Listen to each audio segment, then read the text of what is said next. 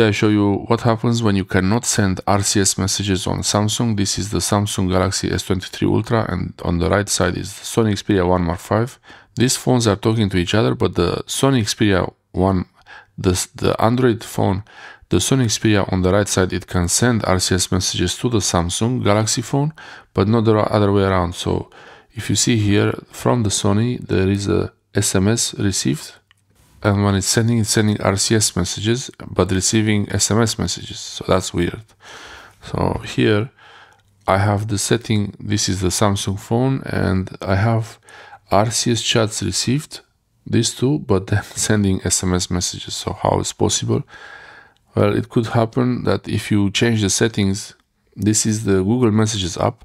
So this is for the Google Messages app. On Samsung this is going to be the app that's default starting in January 2025. And anyway, it's a better app than uh, anything that. It's a pretty good app. I use it. I used it before. It was the default, and if you don't have it, you can get it from the Play Store. From the fo Samsung phone, I cannot send an RCS message. Test RCS. Let's call it like this and you will see that it receives it as SMS and when I send it it shows here. It will show me the SMS button here. I don't have the option to send it as RCS I can get a schedule for the message but not to send it as RCS and we can try now make a quick test and I can send this one. That's a test RCS test. Tested and now I send back a reply from this phone and this one will show that it's locked here. And it's receiving RCS message so it can receive RCS messages but not send. The problem in this case is, uh, pretty easy to solve but it's not so easy to find. If you want to check the settings for the messages app go to the messages app. On the main contacts list tap on your profile picture here in the settings menu that shows up here, you go to settings. And in the settings page, you go to in RCS messages, make sure that turn on RCS is enabled, that your status here is connected.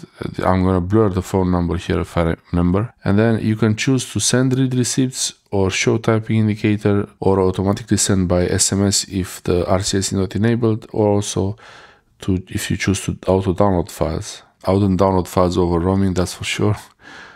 So these are the most important settings. It will ask, it will send you a message, a code or a call to verify that you're sending, you actually own this phone. If you have RCS working with other chats, but not in this one, you go to the three dot menu on this chat here and then on the details. On the details page here, you will have the details of the contact you're talking to.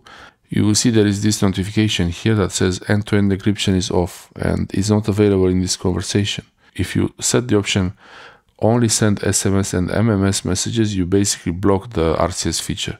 So I will disable this. After only send SMS and MMS messages button is disabled, now I can actually see the end-to-end encryption is on. So now I can send an RCS message in this chat. So that's the conversation on the right side.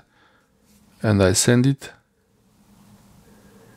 And it's now it's RCS. They are all RCS in this conversation from this point on. And when I type here, when I'm typing here, you will see this is, I received it on the other side. So this message here, it was sent, sent and received.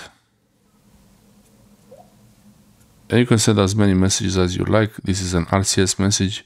You can even send a picture if you wanted to.